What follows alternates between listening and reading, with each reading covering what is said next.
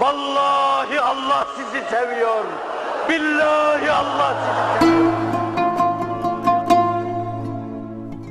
Her zaman sizin içinizde bulunmayı arzu ettim.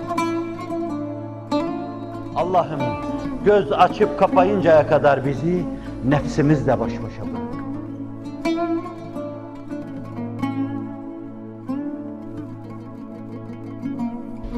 Allah'ı bulan gayrı onun ötesinde her şeyi kaybetse bile yine kazanmış sayılır. Ve son zamanlarda içimde bir ümit halinde türlenen bir ikinci ümit sahibi var. O da sizlersiniz.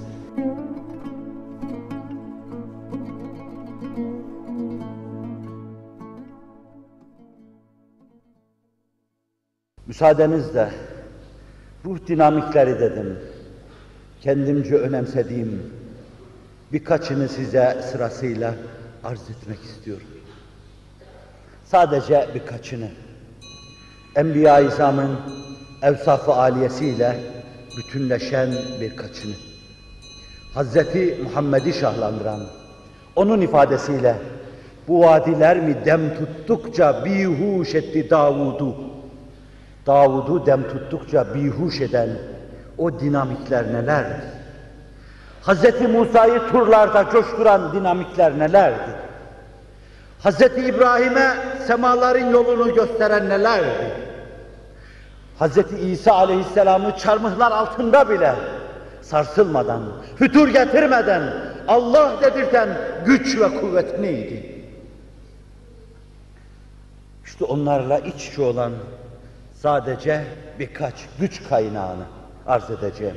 İsterseniz buna ben ruhun dinamikleri derken siz ruhun billorlaşması da diyebilirsiniz. Ruh billorlaşacak. Ruh kendi gücünü kazanacak. Ruh cesedin kaydından kurtulacak. Ve siz ruh insanı olacaksınız. Sırtınızda bir beden taşıyacaksınız. Fakat onun kaygılarına kapılmayacaksınız. Onun altında kalıp ezilmeyeceksiniz. Bir işkembe taşımayacaksınız. Cibril gibi kanat taşıyacaksınız. Mikail gibi kanat taşıyacaksınız. İzra, İsrafil gibi kanat taşıyacaksınız.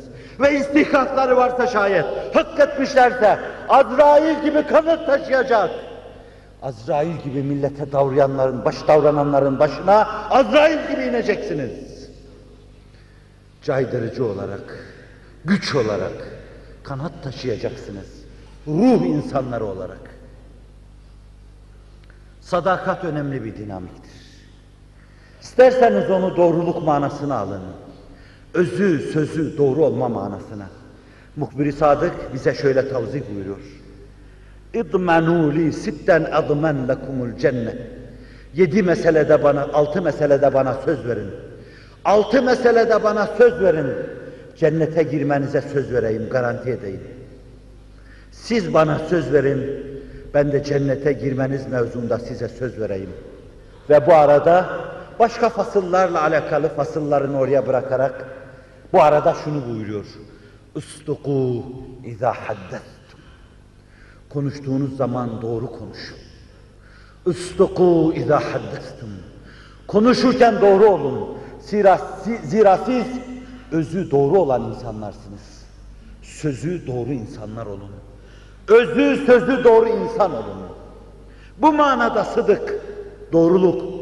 İnne sıdka yehdi ilel bir ve innel birre yehdi ilel cennet. Doğruluk iyiliğe, takvaya insanı çeker götürür. Birrü takva da insanları cennete ulaştırır. Bu manada. Fakat benim bahsetmek istediğim sadakat bu manada değil. Bu mahfuz. Doğru söyleyeceksiniz. Doğru davranacaksınız. Cibril gibi doğru olacaksınız. Sadık-ı olan Hazreti Muhammed Mustafa gibi doğru olacaksınız. Emniyet telkin edeceksiniz. Güvenilir insan olacaksınız. Zira o peygamberlikle daha kanat açmadan alem ona şöyle diyordu. Muhammedur Resulullah Es-Sadikul Vahdil Emin Muhammed Allah'ın Resulü o Es-Sadik El-Vahd Sözünde doğru bir insandı. El-Emin, emin. Peygamber olmadan Doğruluğunu başkalarına kabul ettirmiş. Doğru bir insan olarak vicdanlara taht kurmuş. Bir gün gelecektir. Ben peygamberim diyecektir. Cahile insanı şöyle diyecektir ona karşı. Şimdiye kadar 40 küsür yaşına kadar bize karşı bir kere yalan söylemedi. Bize karşı 40 sene yalan söylemeyen insanın Allah'a karşı yalan uydurması düşünülemez. Bu söylüyorsa doğru söylüyordur. Her dudaktan dökülen buydu. Ebu Bekir böyle diyordu. Yasir böyle diyordu Ammar'ın babası. Hatta Ebu Cehil böyle diyordu. Hatta Ütbe böyle diyordu. Hatta Şeybe böyle diyordu. İnsanlara yalan söylemeyen, 40 sene yalan söylemediği halde sonra kalkıp Allah'a karşı yalan söylemesini izah etmek mümkün değildir. Ama benim arz etmek istediğim bu manada değil sadakat. Sadakat bir manada birine karşı sadık olma, vefalı olma, yürekten bağlı olma. Hz. Muhammed Mustafa'nın Allah'a sadakati gibi, Cibril'in Allah'a sadakati gibi, Ebu Bekir'in Resulullah'a sadakati gibi, Ayşe-i Sıddika'nın Resulullah'a sadakati gibi, ümmeti Muhammed Aleyhisselatü Vesselam'ın Hz. Muhammed'e sadakati gibi ve ne kadar arzu ederdim ama yine de diyeceğim. Sizin Resulullah'a sadakatiniz gibi öyle olsun. Sizin Resulullah'a sadakatiniz gibi. Cihanın refah saadet kapıları açılsa, bu kapıların hepsinden size buyurun çekilse ve baksanız ki o kapılardan hiçbirinin ardında Resulullah yok. Ayağınızı dileyeceksiniz, direteceksiniz. Resulullah'ın olmadığı refah kapısından girmiyoruz diyeceksiniz. Sadakat. Mihnetü meşakkat dolu gibi yağar başına. Ana ölür, baba ölür. Sarsılmaz. Himaye eden amca ölür. Kolu kanadı kırılır. Başına üşüşürler. Ayrılığın ne çabuk acısını hissettirdi amcacığım der.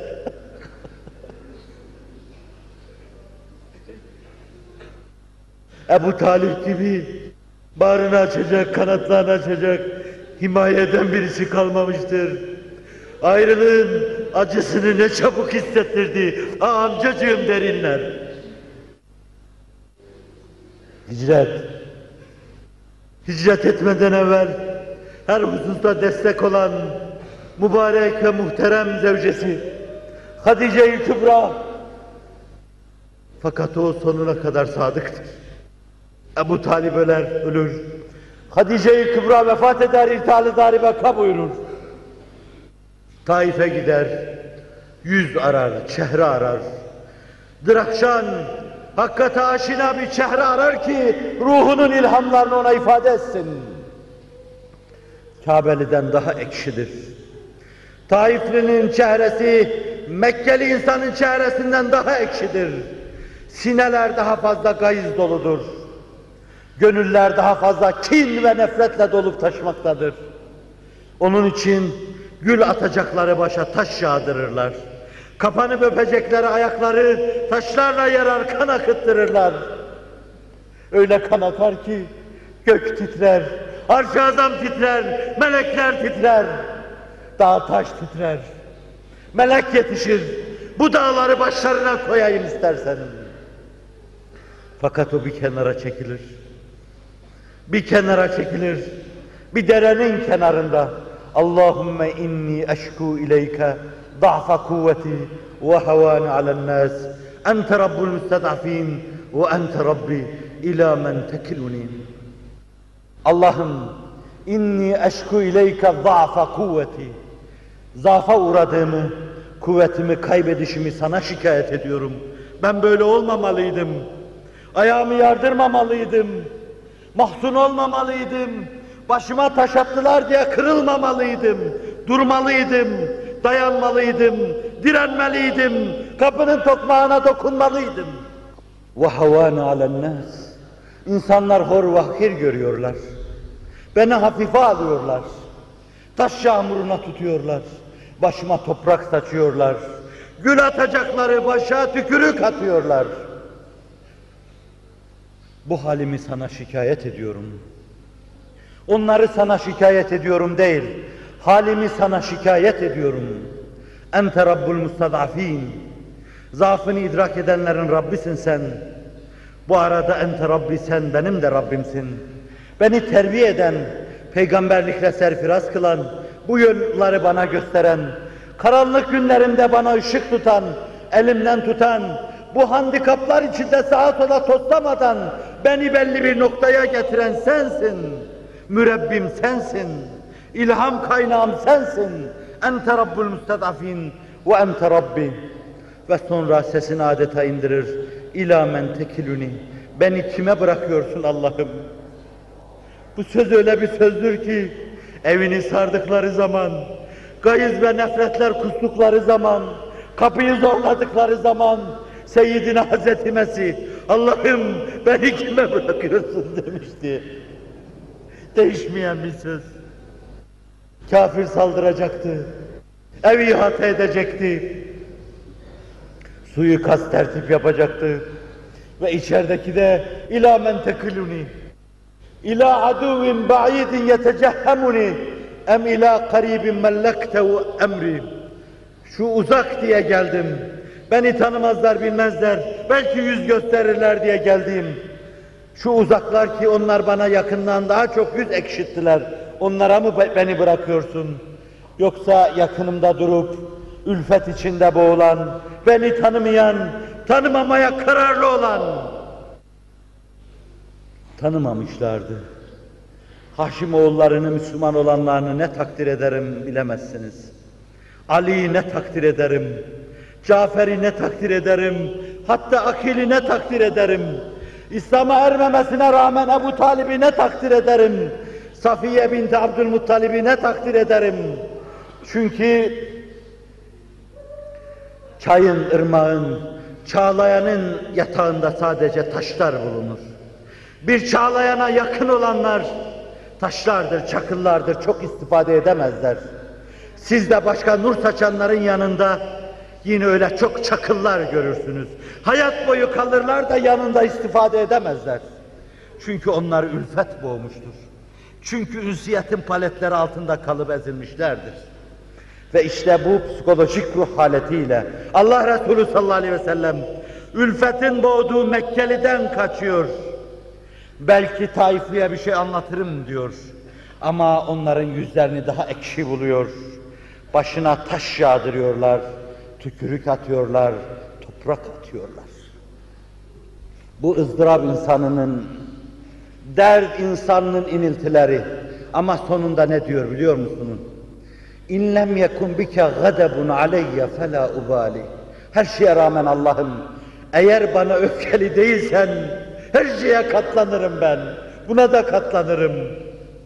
Seyyid Nesimi gibi hançer ile yüreğimi yar, settar senden dönmezem. Ger beni yandırsalar, külüm ottan kavursalar, toprağımı savursalar, gaffar senden dönmezem. Hançer ile yüreğimi yar, senden dönmezem. İn lem yekun bike gadabun aleyh fela ubali. Eğer bana öfkeli değilsen, gayri kale almam hiçbir şeyi, umursamam hiçbir şeyi der Allah Resulü. Neden? Çünkü o sadakat insanıdır. O Allah'a karşı çok sadıktır. Bütün hayatını o sadakat içinde geçirir. Öyle bir sadakattır ki bu, budanır adeta. Etrafında filiz vermiş, fide vermiş, fide halinde meydana gelmiş, yüreğinin parçası, ciğer paresi, varlıklar budanıp ondan alınırken Allah'a karşı ciddi bir sadakat hissiyle dişini sıkar ve dayanır. O şefkat insanıdır. Harisun aleykum diyor Kur'an. Harisun aleykum size karşı çok hırslı. Beş başı mamur Müslüman olmanız için yanıp tutuşuyor. فَلَعَلَّكَ بَاخِعُنْ نَفْسَكَ عَلَى آثَارِهِمْ Neredeyse iman etmelerin, etmediklerinden ötürü arkalarından bakıp intihar edeceksin. Kendini öldüreceksin diyor. Size karşı o kadar haristir. Öyle bir şefkati vardır ki onun. bir karıncanın ızdırabı eğer duyuluyorsa duysa oturur ağlar onun başında. Nitekim yavrulara alınmış bir kuşun yavrularının bulunduğu yerde pervaz edip dönmesi karşısında beyninden vurulmuş gibi ızdırap çeker. Yem var diye aldatılan bir hayvanın aldatılması karşısında beyninden vurulmuş gibi ızdırap içine gömülür. Ve açından öldürülmüş bir kedinin ızdırabını ruhunda yaşar. Ve buyurur ki o kadın cehenneme girdi baş aşağı.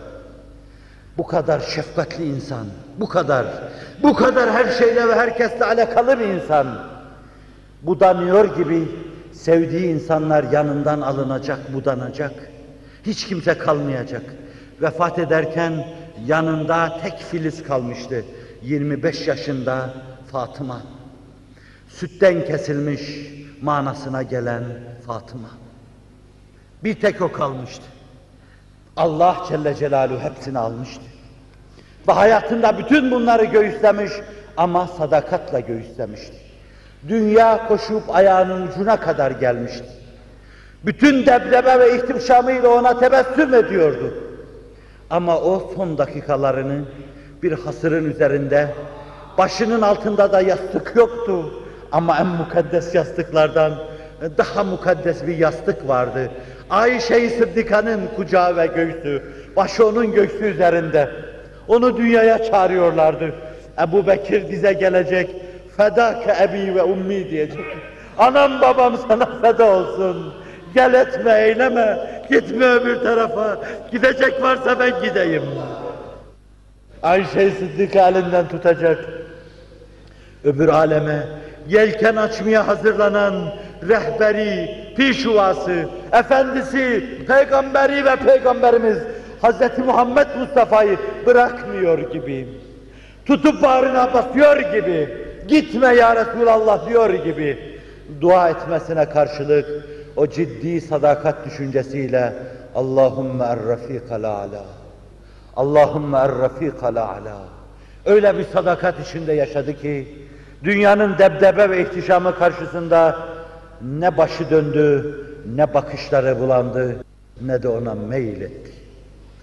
Yıllar sonra Ayşe-i Sıddika bir eski urba çıkaracak, Allah Resulü'nün hatıralarını dinlemeye gelenlere, işte Resul-i Ekrem sallallahu aleyhi ve sellem göğsüme dayalı bir hasır üzerinde vefat ederken şu urbalar içinde vefat ediyordu diyecek ve inleyecektir.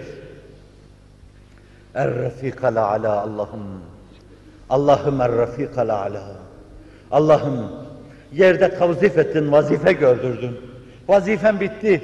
Bana dedin ki el yevme ekmeltu lekum dinekum ve etmemtu aleykum ni'meti. Dini tamamladım. Nimetlerim de artık tas tamam.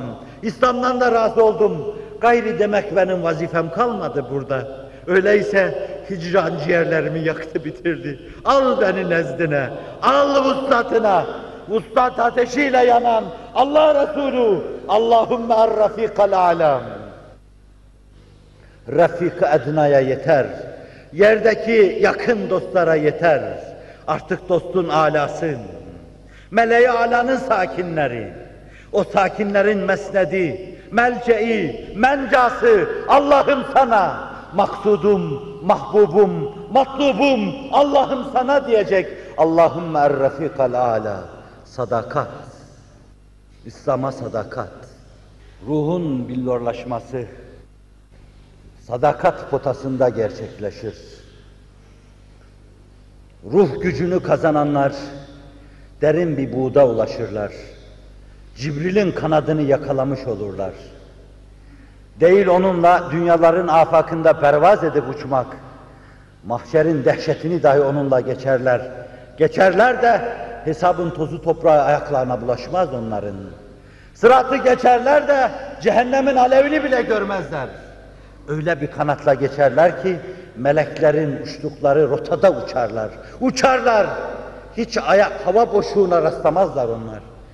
Hava boşluğuna rastlamadan, güm diye bir yere gitmeden, hiçbir çukur görmeden Allah'ın inayet ve keremiyle şahlanır. Cennetlerin hem de firdevslerine uçarlar.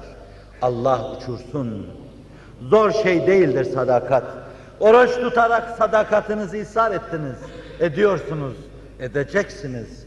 Kur'an'a dilmeste olmakla sadakatinizi ishar ettiniz. Onun uğrunda sizden can istense verir misiniz, vermez misiniz? Bin canımız olsa feda olsun. Hakikati Kur'aniye'ye bin canımız olsa feda olsun. Hz. Muhammed Mustafa'ya bin canımız olsa feda olsun. Ve bilemiyoruz ona bağlılık. Ara sıra belki seziyor, ara sıra sezdiğimizde belli bir ölçüde burnumuzun kemikleri sızlıyor. Allah'ım bunu terbiyesizlik sayıyorsan ben bir cisim varlığım, bir beden varlığım. Beden varlık, bedeni varlık, bedeni varlığa has şeyleri yapıyor. Seni de ara sıra anarken vallahi burnumun kemikleri sızlıyor.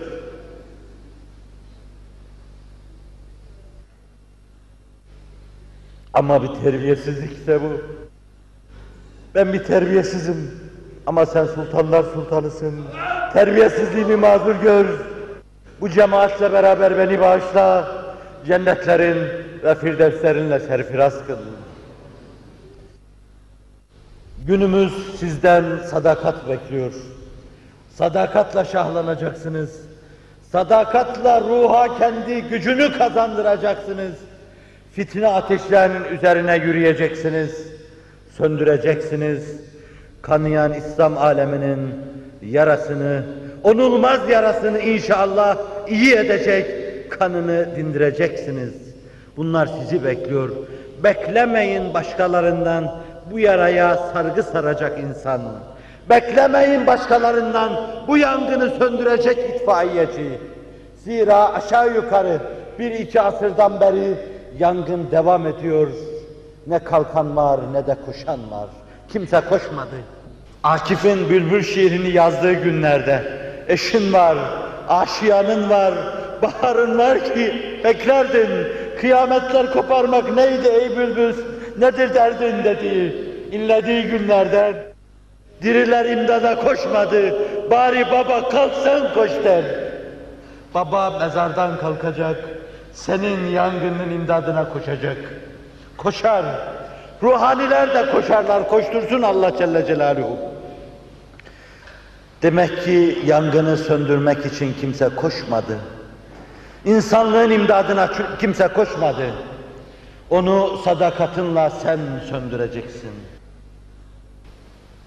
Ve emniyetinle güven telkin edeceksin evvela. Ruhun diğer bir dinamiği güvendir. Allah mümindir. El mu'minul müheyminul aziz el cebbar. Emniyet verendir. İmanın kaynağıdır. İmandaki yümünü bereketi yaratandır. Cibril emindir. Kur'an diyor muta'in semme emin. Hz. Muhammed es-sadikul va'dil emin. Emindir. Sizler de müminsiniz. Sizler de eminsiniz. Emniyetin kaynağısınız. Emniyet, güven, iman, itimat etme, tevekkül, teslimiyet hepsi bu emniyetten, güvenden, emanetten meydana gelir. Sadakattan sonra emanet. Emanette emin olma. İnliye inliye çağınızın büyük dimağı emanetini alacağın güne kadar bizleri emanette emin kıl der ve inler.